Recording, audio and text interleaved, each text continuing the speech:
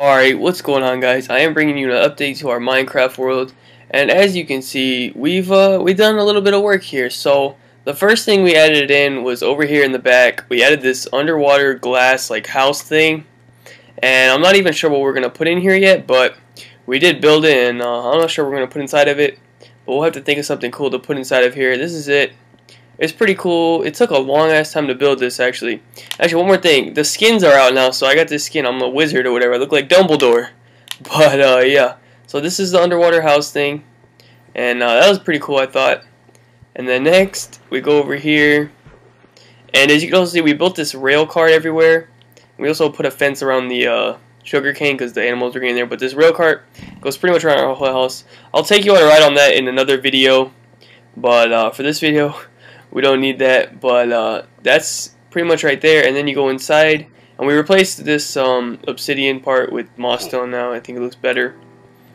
And then we go over here and then my room's pretty much the same. And then we add a little bit of torches and stuff everywhere. And then that room is the same. And then uh, that's uh, Slasher AT's room. Here's a new room right here. This is Dexpo's room pretty nice. He has moss stone and sandstone everywhere.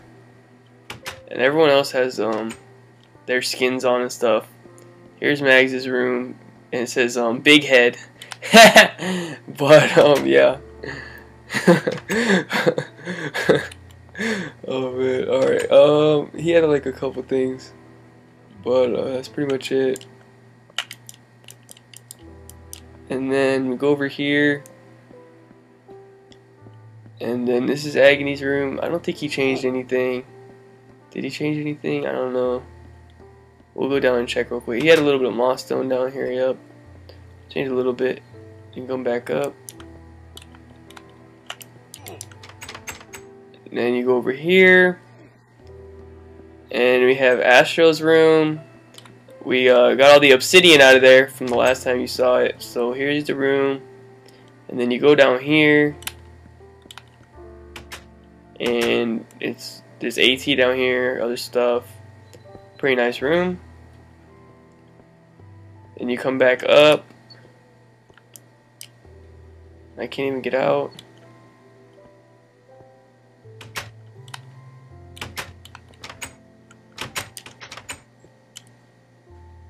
Hold on, I'm about to break this so I can get out. This ugly ass kid. Oh my god, I totally can't get out. I'm breaking your bookcase, kid.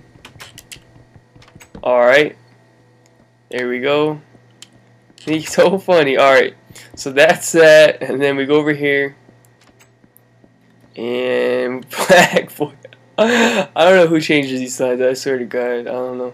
And you go over there. Alright. And then up here, we added in. This is the uh, steam room or sauna. And you go over here. And it has like lava. And you know, you like sit down, chill. And you come out and you go over here. There is a um, hot tub. Yep there's the hot tub. So you chill in here. Float around. Yep hot tub.